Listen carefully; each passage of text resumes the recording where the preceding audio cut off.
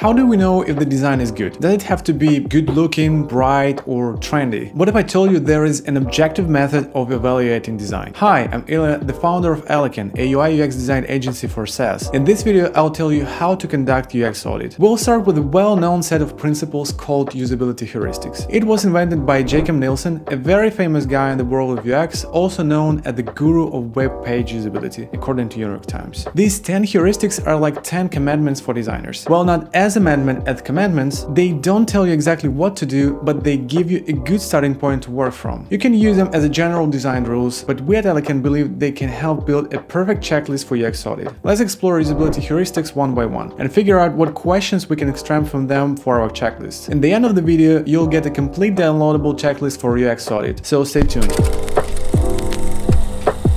So let's go. First of all, visibility of system status. Does the system provide a clear and timely feedback to users about what is happening? Are users able to easily understand the current state of the system? Users should always be able to tell what the app is doing and what state it's in. Progress bar, toast notification, or a simple thank you message, it all counts as feedback. Heuristic number two, match between system and the real world. Does the system use language and concepts familiar to the users? Does the system present information in a logical and intuitive way? Avoid using abbreviations, internal jargon, or professional terminology. But what if you think you really need those specific terms? Then use tooltips at least. Heuristic number three, user control, freedom, and error prevention. Can users easily undo actions and return to the previous state? Does the system provide a clear and easy to use navigation options? There must be always a return, undo, and cancel buttons. We all make mistakes, both designers and users. But unlike most mistakes that we do in life, the mistakes in the app can be reversible. One of the best examples is the undo button in Gmail. Imagine how many awkward moments it saved. And here is another one from Eleken Designs. This is Hapstash, an app with long sign-up process. Naturally, some people get tired and leave in the middle, but we don't want to lose them. So we added save and exit pop-up. Users can leave anytime and come back when they have time. Our next heuristic is consistency and standards. Does the system use consistent terminology, design patterns, and layout throughout? Does the system follow established design conventions and the best practices? Design patterns must be used where possible. What are the design patterns? You can see them everywhere. Most websites put menu in the top of the page because people are used to see that menu there. Most apps use double tap to give a like because that's what users learn from Instagram and now do it automatically. The design must be consistent within the product or a group of products. The logic is the same. People get used to a certain look and structure. Try to use it in every part of the product. Good UI UX design has to be consistent. This is why big companies like Google or MailChimp create their design systems. Let's move to error management. Does the system prevent errors through validation and other safeguards? Does the system guide users through the process of resolving errors? Does the system provide clear and helpful error messages? Error messages often bring frustration, but good design can make them useful. Think how this is different from this. How to make a good error page. Clearly explain what happened, suggest what users can do about it. Add a visual that brings attention to the error. Here's an example from TenderX, a tender management app that we designed. It has an image, an explanation to the error, and a link to fix the error. Next heuristic, recognition rather than recall. Does the system provide clear and easily accessible information to help users complete the tasks? Does the system minimize the need for users to remember information from previous steps? Which question is easier to answer? Is the Antarctic blue whale is the biggest animal on the planet? Or what is the biggest animal on the planet? I bet you choose the first option, right? This is because the first question is about recognition and the second one is about recalling. Recognition is easier and that's what we want to use in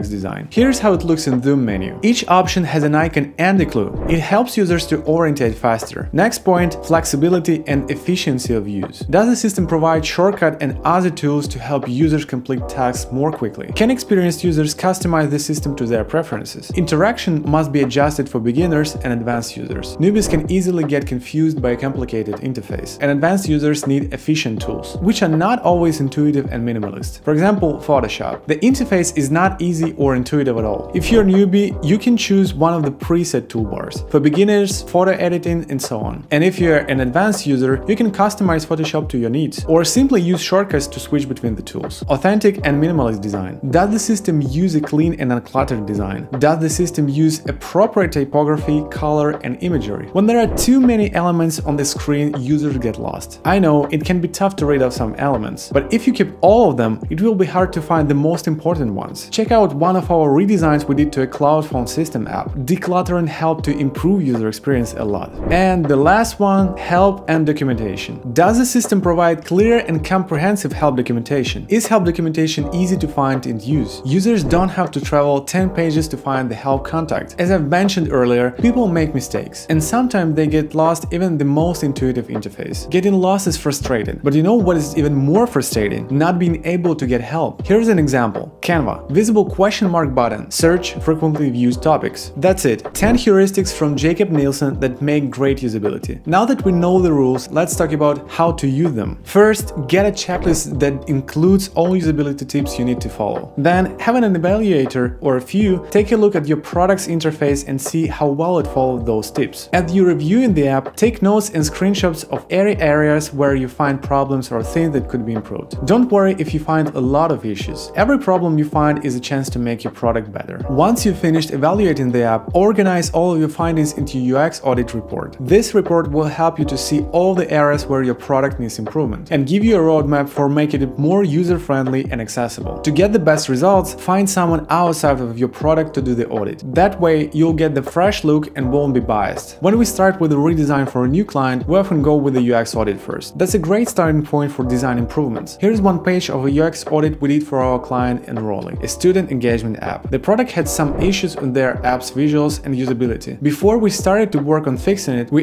analyzed the app to find out exactly what was not working. We used Jakob Nielsen's 10 usability heuristics to help us with it. We put ourselves into Enrolly user's shoes and headed straight to the filtering feature. The first thing we noticed was the empty top navigation menu that makes users disoriented, not knowing what is going on. Seems like this is the first point in our checklist. Additionally, it was completely unclear how to activate the filter. The solution was to put the proper markers and add a separate button to enable filtering feature. UX audit is what you should do before you decide changing anything in your product to improve user experience. It helps to make informed decisions rather than doing a redesign for the sake of redesign. So if you are on this path, you can download the checklist, find the link in the description below. If this video was useful, hit the like button and subscribe. See you soon.